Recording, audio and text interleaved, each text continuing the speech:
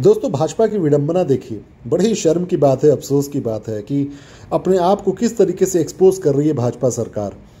भाजपा सरकार यूपी के मंत्रिमंडल में एक ऐसे नेता थे, एक मंत्री थे, जो अभी रिसेंटली उन्होंने रिजाइन करके सपा को ज्वाइन करने की बात करी थी। नाम है उनका स्वामी प्रसाद मौर्य। स्वामी प्रसाद मौर्य का कहानी ये है कि इन्होंने 2014 में कुछ ऐसे ही भड़काऊ भाषण उन्होंने दिया था और वो भाजपा में शामिल होकर लगातार छः सालों तक छः सालों तक उन्होंने सत्ता की मलाई खाई थी।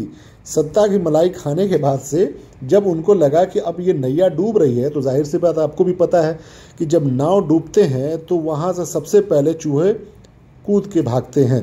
तो इनको भी लगा भाजपा को कि ये हमारा चूहा कहीं दूसरे नाव में जाकर ना बैठ जाए, इसलिए इस पर कार्रवाई करनी चाहिए। तो ये आज की खबर है दोस्तों ये खबर ये है कि स्वामी मौर्य पर स्वामी प्रसाद मौर्य की गिरफ्तारी का वारंट जारी हुआ है, धार्मिक भावनाएँ भड़काने पर कोर्ट के का आदेश।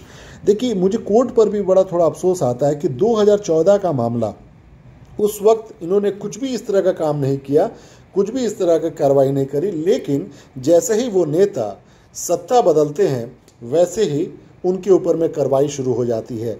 यही वो शख्स हैं जिनको आपने देखा होगा रिसेंटली कि मंत्रिमंडल छोड़कर इस्तीफा देकर भाजपा को ये कहना चाह रहे हैं भाजपा के लोग कि अगर आप मेरे साथ रहोगे तो भले तुम रेपिस्ट ही क्यों ना हो, बलात्कारी ही क्यों ना हो, लेकिन हम तुमको बचाएँगे।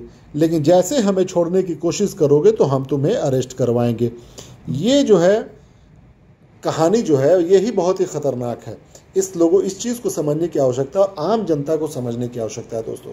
क्योंकि आप लोगों को बेवकूफ़ बनाया जाता है। मुझे इस नेता से भी कोई हमदर्दी नहीं है क्योंकि ये नेता आज है यहाँ पर और कल किसी और पार्टी में चले जाएँगे। इनका इनका काम ही यही है कि अगर ये आज आ, किसी एक जगह में मंत्री हैं और इन्होंने ही एक बहुत ही गलत सलत बात भी बोली थी जब सी एन आर सी और बहुत सारी चीज़ों पर प्रोटेस्ट चल रहा था और प्लस मुस्लिम के शादी पर भी उन्होंने कुछ उल्टे सीधे बयान दिए थे। लेकिन ये नेता है इनका काम ही है यही उल्टे सीधे बयान देना, मुझे ये समझ में नहीं आता है कि जो सत्ता में बैठी हुई सरकार है, वो क्यों खामोश होती है, किसी अपराधी पर कार्रवाई नहीं करना चाहती है, क्यों? आखिर इसके पीछे क्या मकसद है?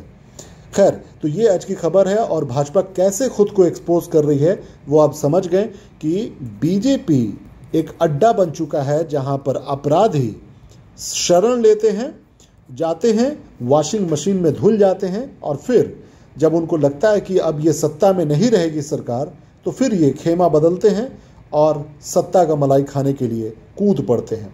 आप जागरूक रहिए, आम जनता जागरूक रहिए, तभी देश बदलेगा। अदरवाइज़ हम सब बोलते रहेंगे, कोई फ़ायदा नहीं है। धन्यवाद।